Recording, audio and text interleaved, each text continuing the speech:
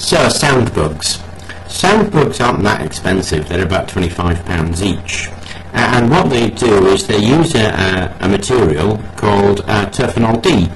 And Terfenol D is a giant magnetostrictive material.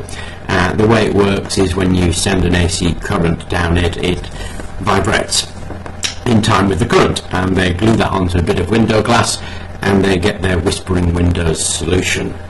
Now, um, if you don't want to spend the 25 quid because you're a bit of a cheapskate like me, then you can make your own sound bug for about a pound or so. It's really very simple.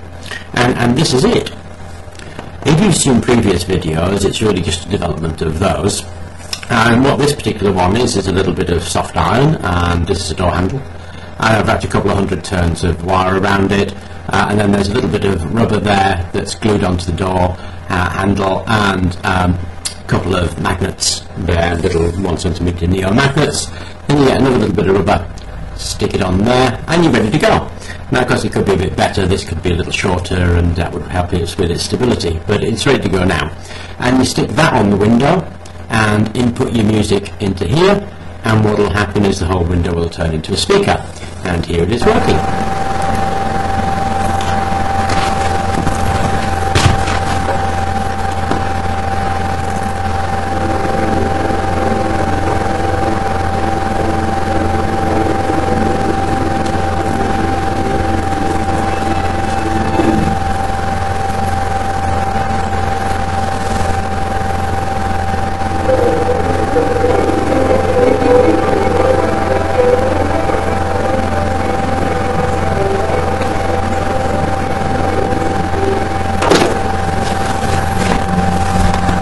A little difficult to hear that, but if you listen out, you can hear it. And when you're actually in here, it's it's quite loud. Uh, and when you go outside, um, you can hear it outside as well. Interestingly enough, um, the reason it's so quiet is I've got a tiny microphone on here, and you can see the, the audio quality. It's pretty poor, uh, so it doesn't really pick it up very well. I guess I could put a microphone near to it.